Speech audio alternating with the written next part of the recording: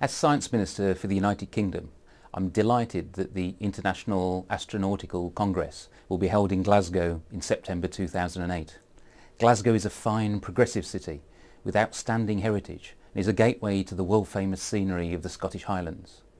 The United Kingdom has a proud record in many aspects of space and we look forward to sharing this with our friends from around the world. I'm pleased to tell you that the host organisation, the British Interplanetary Society, is celebrating its 75th anniversary as part of the Congress. The British government recognises the importance of space to our long-term development and the benefits that it increasingly brings to the whole world. I also believe that space is an inspirational force for our young people to follow science and technology. Space is a truly global enterprise and I'd like to offer my thanks to the International Astronautical Federation in bringing together the world's space community for this prestigious event. I can promise a warm Scottish welcome in September. See you there.